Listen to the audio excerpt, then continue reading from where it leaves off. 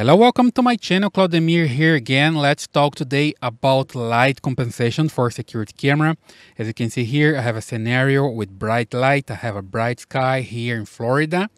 And here there's a shadow area and I can't see the cars here very well. Let's fix that with the Amcrest camera. I'm talking here about a professional camera.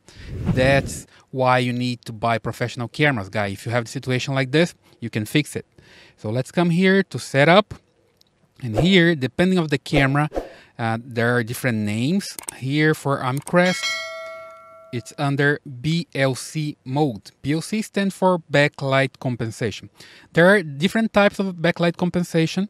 Let's see here, right now it's off. I can use, for example, BLC, okay? So BLC is going to prioritize some area. As you can see here, I have a square.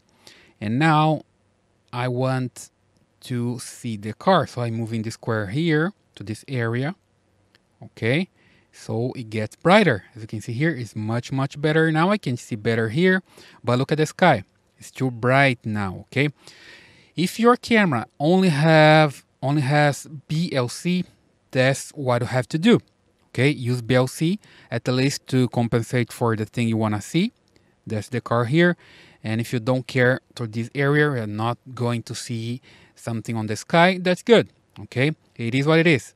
If you don't have extra features like WDR, you're gonna see in a while here, use BLC.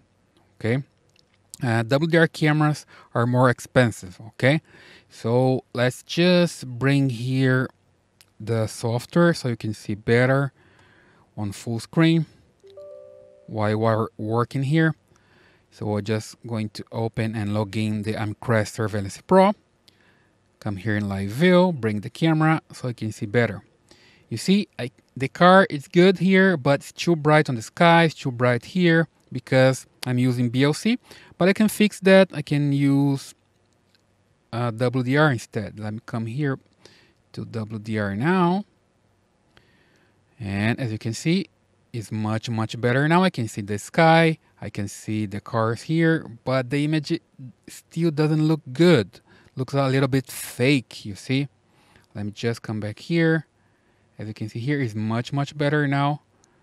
But somehow the image is not that good. Let me just come back here to setup. Let me just do this so I can see better on full screen. Here, I just wanted to change the WDR settings here. Let me just bring it down a little bit. And as you can see here, it's better now, okay? Don't apply too much, okay? You can bring it down a little bit more.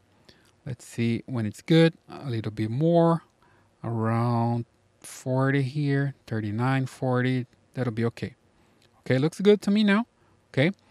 Let's just compare to the way it was before with off. You see, there's a lot of shadow here with WDR now. Much, much better. And BLC. As you can see, BLC is also good here in the shadow areas, but it's not good here in the bright areas. So let's leave with WDR, okay? As you can see, there are other options here such as HLC, but it's for another kind of application, okay? So WDR and BLC is better here for this example. WDR, the best one, okay? So that's the way it works. I'm using here an Amcrest camera. As you can see, there's a lot of option here for exposure, picture. I can change a lot of stuff here, white balance to have better color let me just pour here outdoor so I can have better color here. Okay so I have day night and a lot of different options here. This is one of the menus. I have a lot of different menus here to control my camera. When using professional camera that's what you get. You get uh, features get resources you can work with okay? So that's all. I hope you like this video. I hope I can help you if you uh, like this video, just leave your thumbs up, your comments, and subscribe to the channel. See you in the next one.